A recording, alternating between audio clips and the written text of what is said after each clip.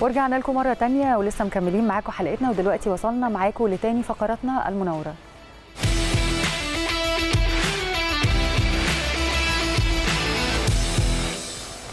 بعد غياب اليومين الأجازة اللي خدناهم دول قلنا لازم نرجع لنق- لنقاشاتنا وكلامنا ونختار موضوع كده آه، قوي نختم بيه الأسبوع.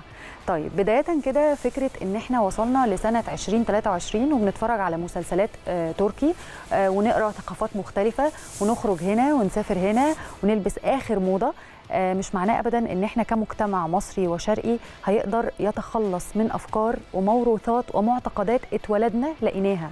وتربينا عليها وشربناها. هل مثلا أنا أو هند آه، أو أي حد بيسمعنا دلوقتي معتقدين إنها تتغير بكل سهولة وبساطة؟ أكيد لأ. لكن آه، بتظل المرأة هي أكثر عنصر في المجتمع بيتمارس عليه الأفكار دي. فقولوا لي كده بعد كل النجاح آه، والتقدم والتطور اللي حققته الست وجودها في كل الأماكن وكل المناصب بنسبة كام في المية قدرتوا تغيروا وجهة نظركم عنها؟ يعني خليني أقول لك الحقيقة إنه أنا بالنسبة لي النسبة دي أكيد مش هترجع للجهد اللي الست عملته. ولكن هتعتمد على طريقة تفكير وثقافة الشخص نفسه ومعتقداتنا عاداتنا وتقاليدنا على راسنا من فوق لأنه ده جزء من ثقافتنا وحضارتنا.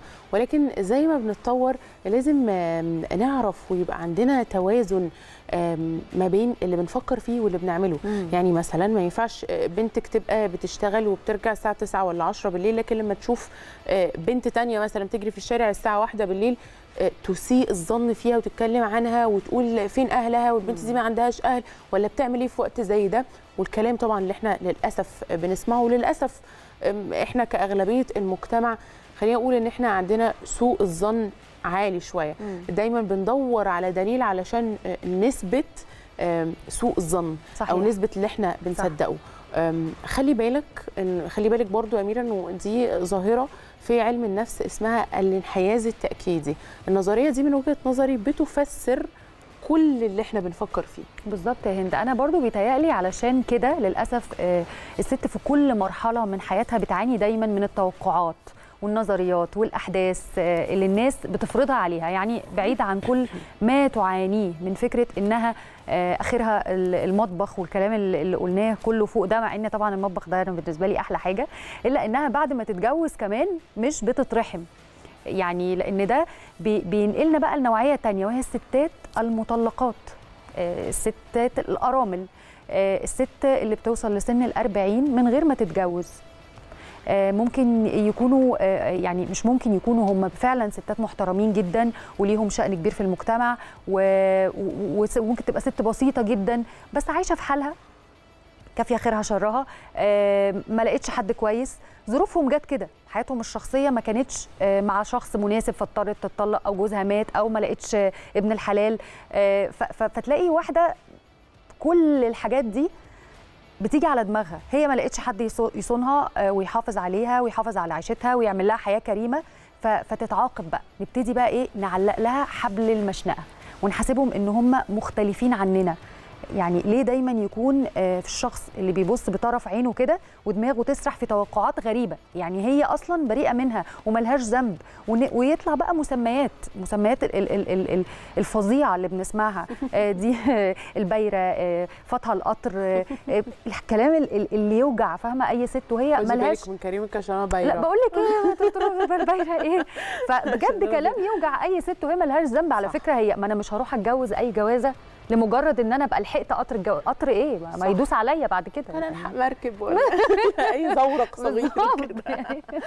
بصي إحنا خلينا نقول إن إحنا برضو مش عايزين نبقى منحازين للست ونظلم الراجل أو نقول إن الراجل سبب في كل ده لأنه للأسف الشديد أوقات كتير بيبقى الشخص اللي بيبص بطرف عينه كده أو بطرف عينه كده أيوة. بتبقى ست للأسف بتبقى ست زيها زينا عادي جدا آه. ست. ممكن تبقى أم لشاب لا ما تتجوزش دي عشان دي مطلقة لا ما تتجوزش دي عشان دي أرملة وتبقى بنت زي الفل ما, عملتش حاجة غلط صحيح. انها اتطلقت صحيح. كمان إنه لو واحدة مش متجوزة دايما بتتحط في آه، تحت نيران الشك.